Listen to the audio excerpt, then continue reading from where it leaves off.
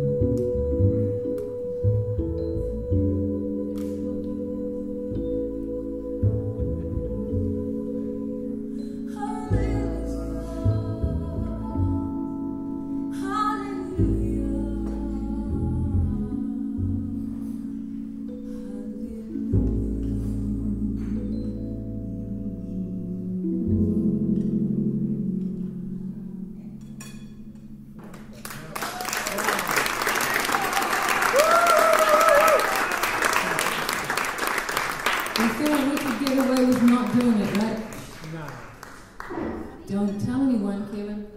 We just won't announce it that we didn't do it, and then you'll not know what you're missing. But then at the same time, you'd be missing a whole lot of beautifulness in Catherine Elizabeth Francis Hamilton.